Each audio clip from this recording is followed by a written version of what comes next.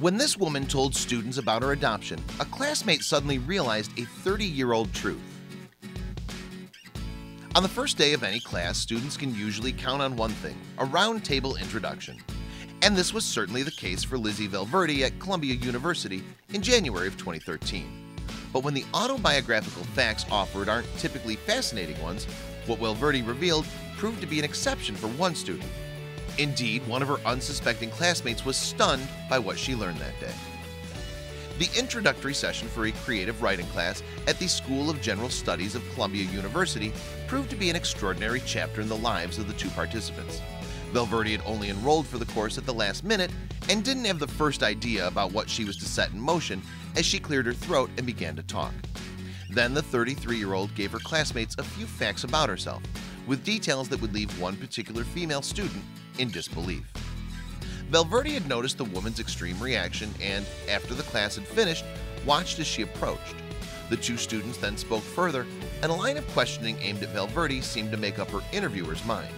The stranger subsequently told Valverde that she'd helped to solve a 30-year-old family secret, and when the woman explained how, the news stunned both classmates. Furthermore, when their story went viral, it was the internet's turn to be astonished. Columbia University School of General Studies is intended to provide an Ivy League education to students from non-traditional backgrounds. And before she walked into class on that fateful day, Valverde's life could certainly have been said to have followed an unconventional path. She was born on December 8, 1979 in Tampa, Florida, but wouldn't live there for long, having been adopted shortly after coming into this world. And her adoptive parents, the Delgados, lived more than a thousand miles away from the Sunshine State in New Jersey. This, moreover, is where their new little girl spent her formative years. But now in her mid-30s and with a family of her own, Valverde had made an important life decision. She'd go back to school and indulge her passion for creative writing by studying it formally. So, with the help of the School of General Studies, Valverde had enrolled at Columbia University. And while she'd only signed up for the creative writing course minutes before class started, she nonetheless arrived in time for the customary introductions that day in January of 2013. Furthermore, as a budding writer, Valverde was more than happy to share the story of her life so far. But as the new student spoke to the group at Columbia's Kent Hall about herself, including the fact that she'd been adopted, she couldn't help noticing something. Specifically, it appears as though something was seriously wrong with the woman sitting across from her. It looked like she was having a panic attack, Valverde would tell the New York Times in May of 2015. Little did Valverde know, however, that the student sat at the opposite side of the table had a very similar life story to her own. Her name was Katie Olson, and she was a year younger than Valverde. Born with a mild case of cerebral palsy, Olson had been adopted at a young age, but as it turned out, her family had lived in Florida for some time before moving to Iowa in the Midwest. On top of that, Olson had previously spent time delving into her personal past to try and find out more about her biological family. And through arduous online research, she'd uncovered the identity of her birth mother. In the process, however, the inquisitive woman had also found out that she may have had an elderly sister called Delgado, from there, Olson did more online digging about the woman who could be her sister. And as a result, she discovered that her long-lost sibling had grown up in the New Jersey area. Olson also learned that her sister had got married and ended up studying at Columbia University, the very same institution she herself was attending. And while Olson had no idea about what subject her sibling may have been majoring in, she nevertheless felt that she had enough to go on. So Olson set about using what she did know to try and track down the woman who might be her sister. Yet although she'd reached out via various emails, she'd received no responses to her online missives. It appeared then that Olson's quest had sadly reached a dead end. Even if Olson's trial and error emails had come to nothing though, all that internet research had not been in vain. And the facts she learned were just why she appeared to be in shock in the creative writing class. Indeed, Olson told the New York Times what Valverde said fit together with a lot of the stuff that she knew about her biological sister. Interestingly, in fact, Olson was convinced that the woman she spent so long searching for was now sitting right in front of her.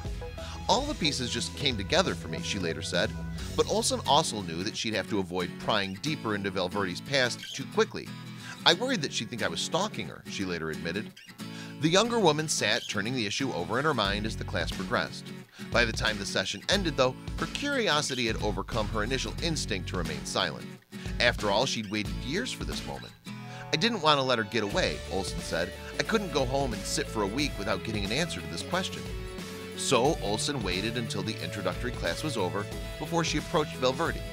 In the end, though, the younger woman's nerves took over and the details about her long-lost biological older sister and follow-up questions came thick and fast. And as the conversation went on, it was Valverde's turn to be stunned.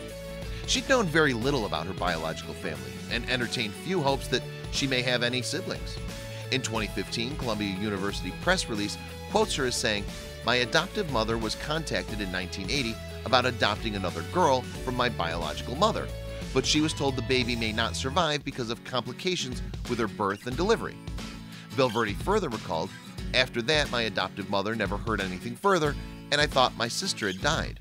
But thankfully, it turned out she'd mercifully not met such a fate, and in fact, she'd been sitting across from Valverde that day in creative writing class. Olson told her sincerely, I think we're sisters. According to the New York Times, the only thing fiction aficionado Valverde could say in response was to ask, Is this real life? The two subsequently left Kent Hall together and headed to a nearby bar. There, they spent the next few hours swapping questions and answers over several rounds of drinks. We just ordered pitchers of beer and started going back and forth with our lives and biographical details, Olson told ABC News in 2015. Like, do you like chicken wings? I like chicken wings. Do you have a weird pinky toe? I have a weird pinky toe. But of course, it was their mutual passion for creative writing that the sisters have to thank for ultimately bringing them together. Since that day in class, meanwhile, the two have worked on forging a close bond, teaming up for vacations as well as becoming fast friends on campus. Furthermore, the women have even introduced each other to their respective adoptive families. And having left Columbia the year before, Olson was proud to attend her sister's graduation from the school in May of 2015. Plus, there was a guest of honor in attendance, the woman's biological mother, Leslie Parker. Parker could only laud her daughter's successes, telling ABC News they're both amazing, beautiful women. And their chance meeting in class? Well, Parker told the New York Times that she could only think of one explanation for that when she heard about it. I felt like the world was coming full circle, she said. Please share this video with your friends below.